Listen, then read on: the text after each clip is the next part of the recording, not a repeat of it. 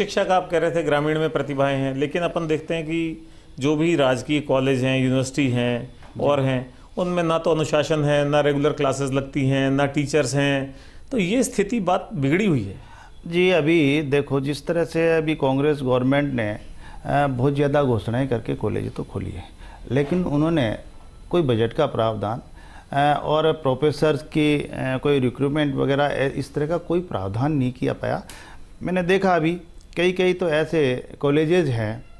जिन colleges में एक एक दो दो प्रोफेसर हैं और कहीं ग्यारह बच्चे हैं कहीं कम। तो अभी